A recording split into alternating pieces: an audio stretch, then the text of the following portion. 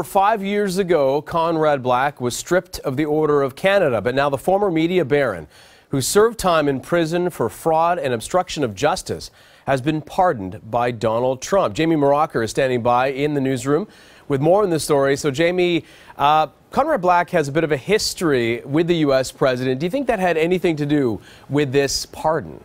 Ah, well, Antony, according to Conrad Black, though they've been friends for quite a long time, the president did not use that as a reason to pardon him. Now, on Wednesday, Donald Trump signed the full pardon for Black, who in 2007 was convicted of fraud and obstruction of justice and spent three and a half years in prison.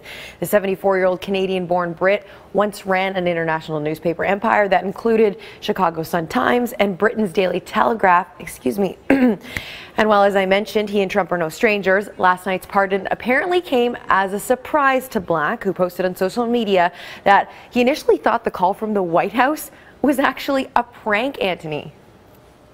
Interesting. So, what reason did the White House give for the pardon, Jamie?